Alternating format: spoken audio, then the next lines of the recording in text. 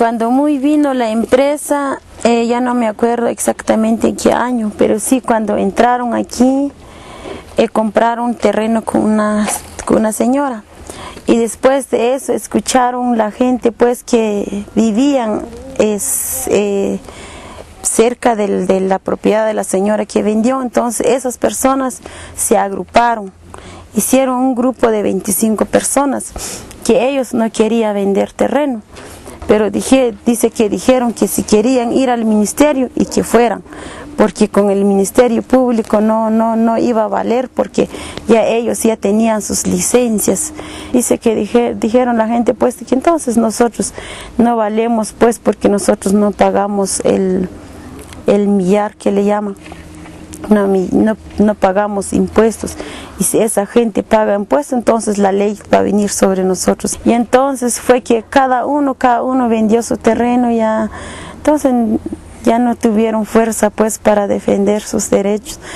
Este, después de que los 25 vendieron sus terrenos todo y empezaron entonces ahora a chiñar los, demás, por ejemplo los jóvenes y todo, dijeron que algunos que ya tenían sus propiedades, no es que dijeron ustedes van a ser beneficiados por un trabajo, les vamos a construir casas, dice que dijeron y van a ser beneficiados y es un y dijeron que era desarrollo para para para ellos y después que cuando ellos sintieron que ya estaban bien sembrados aquí, entonces cada uno le fueron despidiendo a los que le dieron trabajo y así fue que vendieron la gente la tierra y tanto engaño que han hecho también por la gente.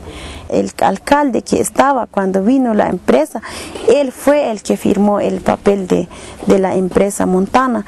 Entonces el alcalde que acaba de salir, pues él dice de que eh, lastimosamente pues la empresa ganó el, el, territorio de San Miguel. ¿Por qué? Porque el mismo el alcalde, el alcalde antes eh, vendió pues a nuestra gente a la empresa Montana.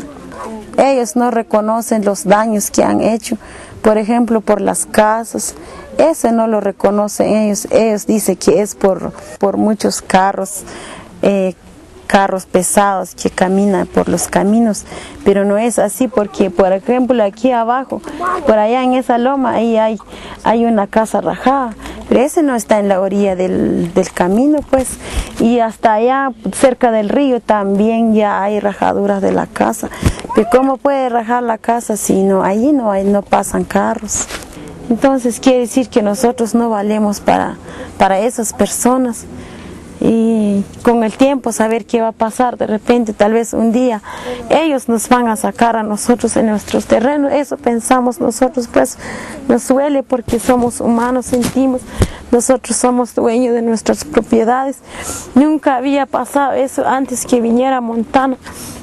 Estamos diciendo a la gente pues que vive en otras comunidades como por ejemplo en, en otra aldea que llamado Ixcail, dice que ahí hay oro, en otro, que, eh, en otro lado que en una aldea allá, eh, La Patria, también dice que ellos quieren entrar allá, pero nosotros ahora ya estamos diciendo a la gente que, que no lo reciban, porque si ellos reciben a esa gente igual va a estar así como estamos nosotros.